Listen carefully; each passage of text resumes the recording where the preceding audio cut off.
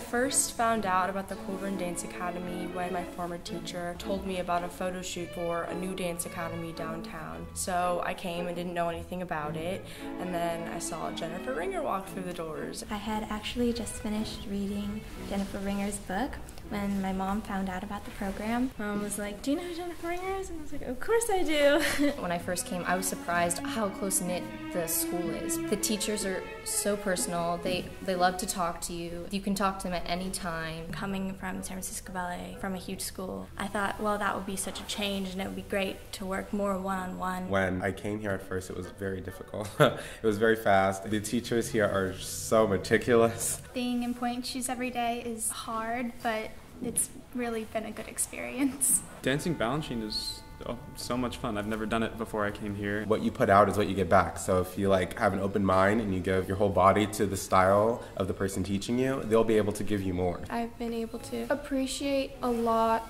of different styles of dance that I don't think I would have been able to understand and appreciate previously. Someone that's considering to be at this school should just be ready for how much communication and how close everyone is. It was definitely the best experience and best decision I've ever made. I would tell someone considering the Colburn Dance Academy that they should really do it because I don't regret anything. It's really challenging, but if you're willing to work hard, really stimulating and rewarding too. I would also say they have no idea what they're getting into. There's a lot of surprises coming with the school, but you don't realize how great it is until you're here.